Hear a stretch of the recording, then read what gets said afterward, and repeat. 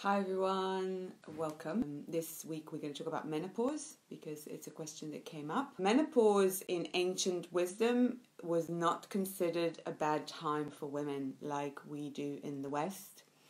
So women usually in the West see it as a as a kind of painful time, hot flushes, so it's kind of like the most annoying time for women they feel like they're losing their youth and um, all those things. So it's kind of a difficult time uh, for women in the West, and I just wanted to bring some shed some beautiful light on what menopause can be as an empowering stage for women's life.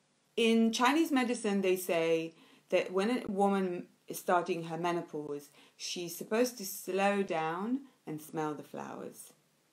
Okay, so in the West, we still even though so basically from the age of 35 you already premenopausal. So you produce less progesterone after the age from the age of 35 so you slowly slowly the progesterone level decline. And progesterone is the hormones that gives us libido.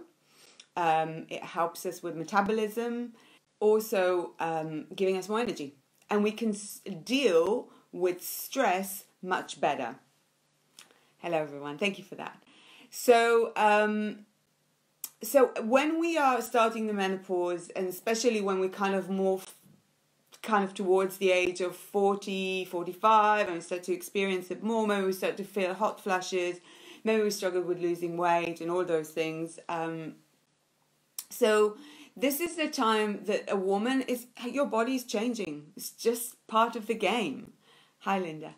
So um, you just need to accept that that this is a time actually of priestesshood in other cultures.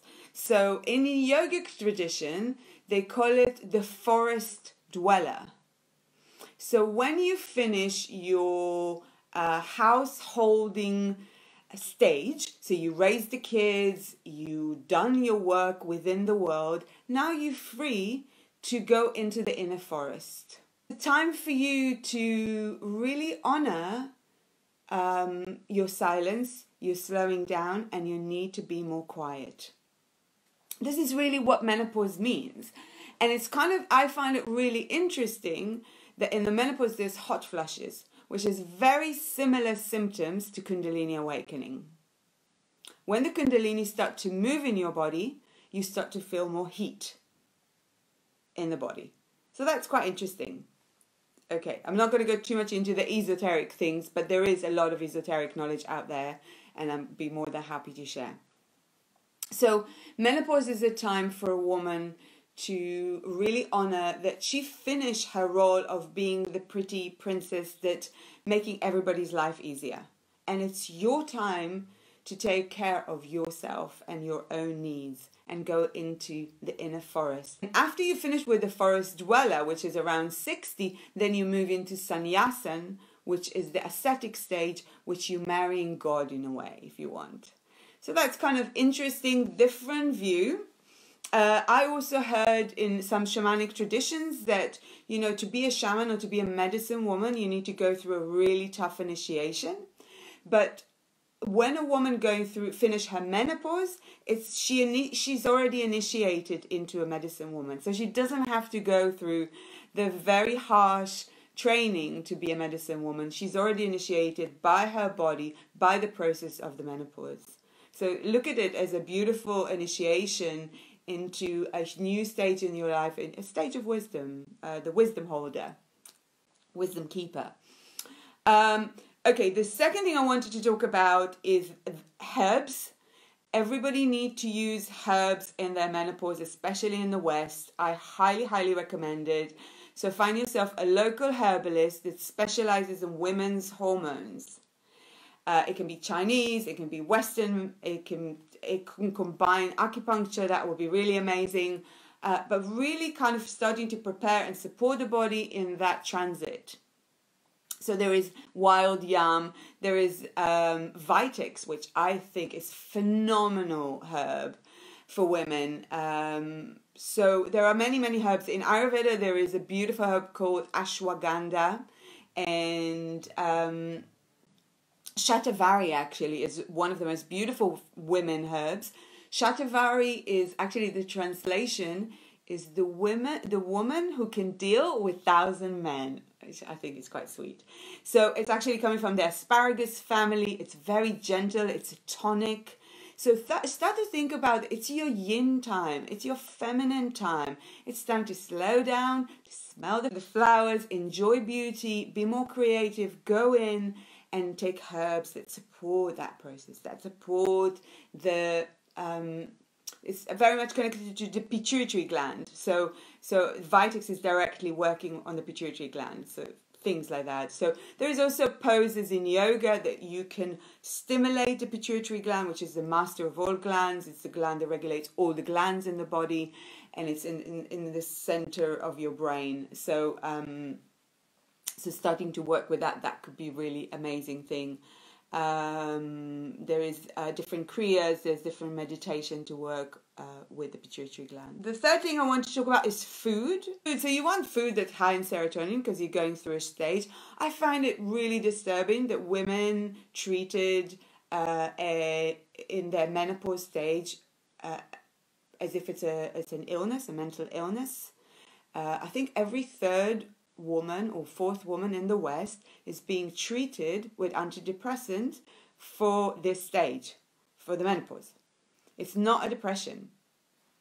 Though, if you think about depression as a deep rest, when you're depressed, you need a deep rest, then maybe you are depressed because you need you you are aligning yourself with needing to really drop and really rest and dwell in your own inner forest, okay? So, um, food high in serotonin, so the sun can give you that also. So, you need half an hour completely naked in the sun to to um, to absorb sufficient amount of vitamin D. But actually, the sun giving us like hundreds of vitamins that we don't even have names to. So the sun is the force of life. It's prana. It's the only thing that keeps this planet alive. So um, it's not bad for you. It's just midday. If you are very fair skinned, then don't sit in the middle of the day in, in the sun. Do early morning sun and evening sun and try to be completely naked. And if you can't, at least let your belly show so get some sun on your belly and this part of your arms is where you absorb most vitamin D. So that's very important for the bone health and serotonin levels and then this hot like any initiation, because we don't have in our society the elder women that will take us through the process of shifting into that stage of the menopause, then we're feeling a bit lost because we are going through a huge initiation, but there's nobody holding or guiding us there. And mostly we're hearing that it's a horrible stage in our lives and we're losing our youth and we're losing our beauty as if it's a, it's a curse. We, we're losing the youth and we're moving into wisdom. It's just how it is.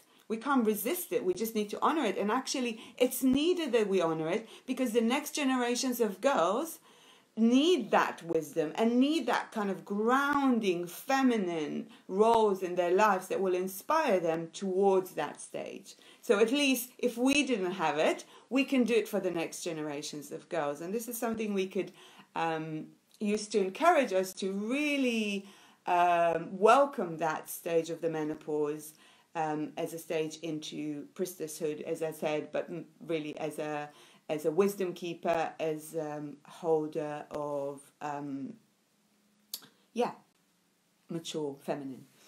Um, so with food, I would just say, I always say it on the retreats. Everybody say something else. So I don't like to talk about nutrition as this is the way, it's black and white. But I say to people, if you know that at least 60 70% of your diet is is vegetables and it's organic you can you are safe.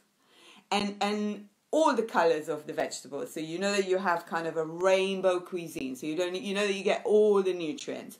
If you grow your own vegetables or at least you're getting a box scheme so you're getting a local food so then you at least tune with the rhythms of nature and the seasons so then you know you're getting the right nutrients for the right time of the year so that is really good. And then you've got 30 40% um, protein. A lot of vegetables anyway have carbohydrates, so you don't need to worry so much about carbohydrate. What I did find in many, many research is that gluten and sugar are very difficult to break uh, for women, especially after menopause. Again, because the progesterone is dropping and our metabolism is not as strong as when we were 22. That's just how it is. So, just honoring that and changing our diet and growing our vegetables. And actually, growing a vegetable is really phenomenally powerful way to reconnect with the feminine because you are working with the earth and you aligning yourself with that energy of being grounded and being feminine because the feminine is the earth energy. Um, the last thing I wanted to um, to say is a detox. I think detox is really important. Liver detox is really important for the menopause. Um, I was just in a conference, Ayurvedic conference, and, and one of the doctors said, with any patient, if you don't know where to start, start with the liver. Okay, because the liver is like is, is doing so many functions and it's detoxifying quite you know it, it's the main filter of the body and it and it filters uh, old hormones. So when there is stagnation in the liver, there is there is problems with our hormones. So the the stage of the menopause can feel very overwhelming. Definitely contemplate liver um, flush and uh, live some sort of a detox. Um, I'd be more than happy to help with that. This is kind of my speciality um, and but also just thinking about gentle way to detoxify, detoxify. Don't go harsh. It's a yin time. It's not a yang time. Harsh green juicing, fasting is very masculine. You want, and I'm talking about in a yin and yang kind of way, not men and women. Um, so try to do like gentle cleanses. There is a cleanse next week and I have a cleanses in October and uh, September, October, and then I'm also doing kind of online, and I'm also doing this kind of new sending home boxes with um, kind of kits for detox and cleanses if you'd be interested in that. A lot yin food is is roots, and think about it like it's rooting us. So a lot of orange vegetables, root vegetables are very grounding and this is a time to ground yourself so you can choose cleanses that incorporate that rather than going really harsh on uh, you know like i do not recommend liver flush. I did it myself many times uh, not many times maybe three four times. It's a it can be very powerful but it really needs to be supervised honestly. Otherwise you really could really damage yourself. So be really careful with all this kind of sexy new detox processes. And this is why I really like Ayurveda, you know, and Chinese medicine. They've been around for 5,000 years.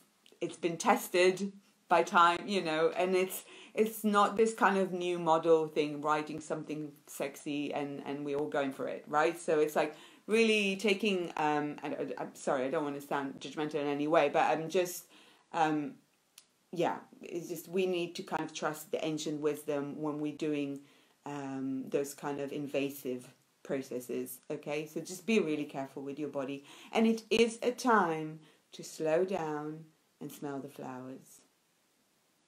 It's a time to go in to the inner forest. So please listen to your body. And this is your time to really honor intuition and to really start to learn to work with your inner wisdom and to reclaim the priestess the medicine woman within you because the next generations of girls need you.